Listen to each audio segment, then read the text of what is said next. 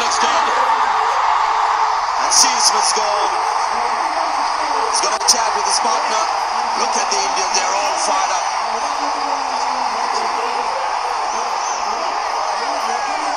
He's looking upstairs, which I'm not sure he'll let him do. Yeah, I don't think, I think Steve Smith was looking into the change room there. Don't think he can do that. I think he's got to make a decision. It's like he hasn't referred it. Not happy one little bit, Kohli.